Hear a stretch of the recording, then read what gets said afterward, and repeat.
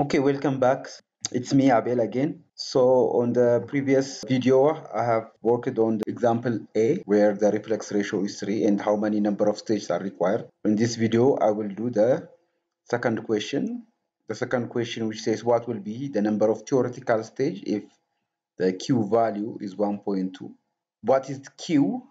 When you say Q, Q represents the feed line or the feed characteristics. So Q is, in general, it's the heat required to convert one mole of feed to saturated vapor divided by the molar heat of vaporization of the saturated liquid. So this is the feed line. So the feed line and this is the feed tray. So you have some uh, liquid entering from the top uh, to the feed tray and it passes the feed tray in addition with the uh, feed here. So based on this, uh, you can uh, derive the equation of the Q value Q value means the amount of uh, liquid, uh, the amount of liquid in the strip section minus the amount of liquid falling from the top divided by the amount of feed.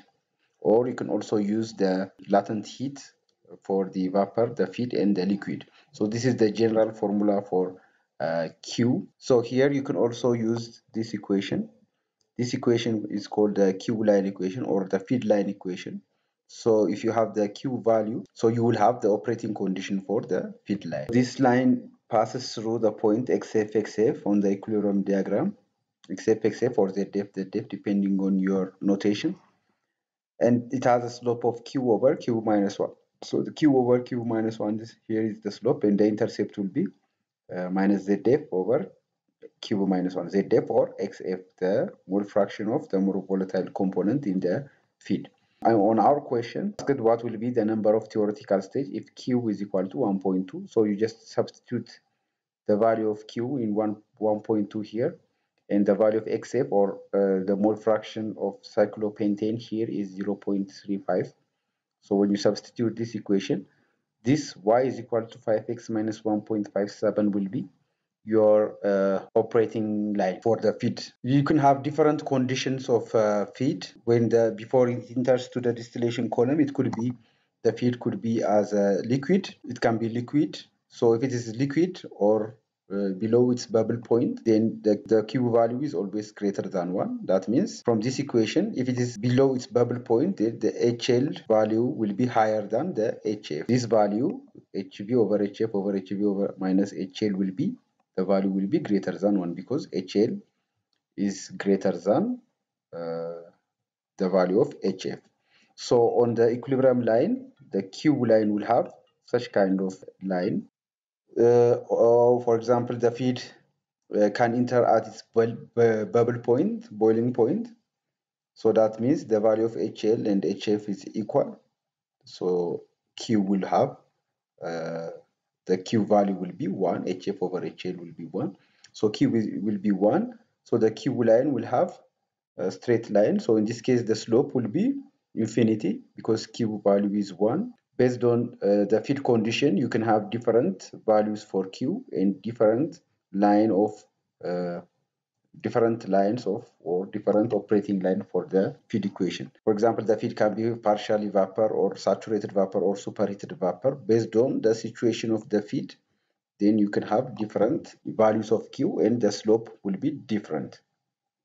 So here you can see that cold liquid or if the feed is below its bubble point, then you'll see that the Q line will have such kind of slope. When Q is equal to 1, the slope will be infinity. So therefore the q line will be this uh, the q line will be this one. Mind you that it always passes through the point xf xf here xf and also here xf here this is where the feed is cold and this is when the feed is at uh, its boiling point. And this will be the slope it will have a negative slope if the feed is uh, partially vapor and here if it is saturated vapor the slope will be zero. And here if it is superheated vapor uh, you will have uh, such kind of slope. So this will be the uh, definition of q. If you understand this what q line is so we can go to our exercise. So the example says what will be the number of theoretical stage if q is 1.2 so here what will be changed is still the top operating line will still be the same for this one. What will be changed is the bottom operating line. So whenever the top operating line and the Q line intersect that will be the feed point. So the bottom operating line at this point will be the point uh, you are going to connect the point of intersection of the top operating line with Q to XW, XW.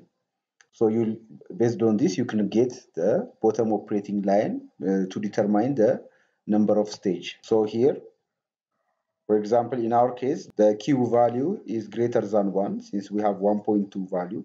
So the operating line should be, uh, the slope should be like this, like this one here. The top operating line and the Q line intersect at this point. So the bottom operating line will be the line you are, you are going to connect the point of xw xw here to the intersection point. So this will be your bottom operating line. So based on this, uh, we can do our uh, example in a simple way.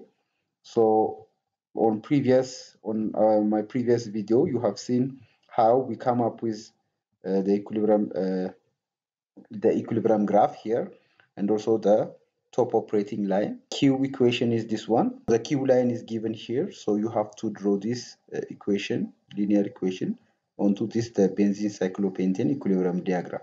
So if you take, for example, uh, since this equation passes through XF, XF, so you take one point X to be 0.35 and the other 0.35. And the other, if you substitute X to be 0, then the y-intercept would be 1.75. So you plot these two data, data into the benzene cyclopentane uh, equilibrium diagram. So finally you will get, so this will be, this will be your feed line.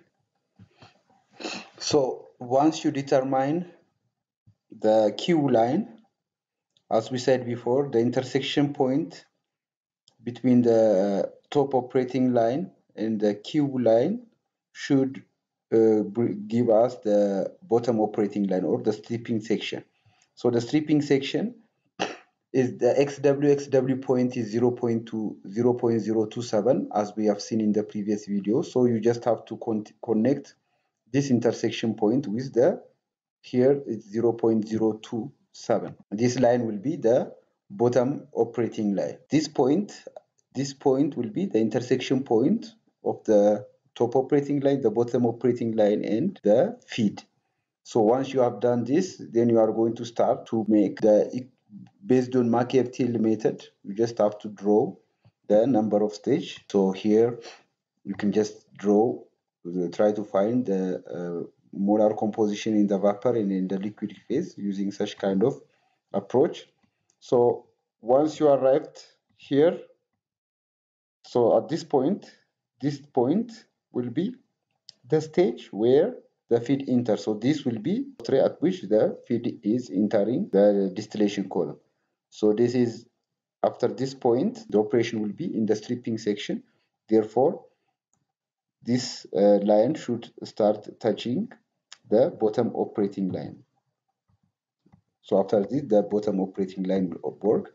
So as soon as it, it reaches the point 0.028, then this will be the last stage or the final stage for uh, the operation. So when you count the number of stages, you have one, two, three, four, five, six, seven, eight, nine number of stages, nine theoretical number of stages. If you have a Q value of 1.2 and the feed enters at the stage of 1, 2, 3, 4. In the fifth stage, the fifth stage or the fifth tray will be the feed tray. So this is how you are going to do uh, if there is, uh, if you have to know the condition of the feed, then the operation will be uh, computed just like uh, this. Uh, I will also do the other two questions on the next video. Uh, see you next time.